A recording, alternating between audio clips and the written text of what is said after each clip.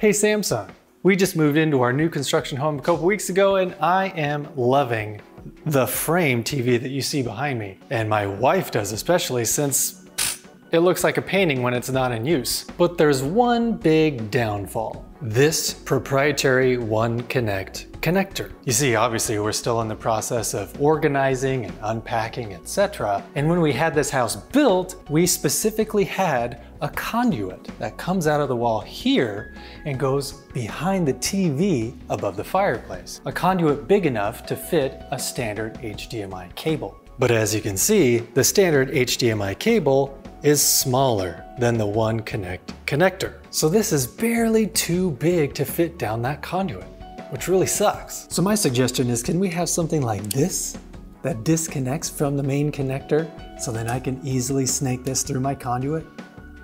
Thanks, Samsung.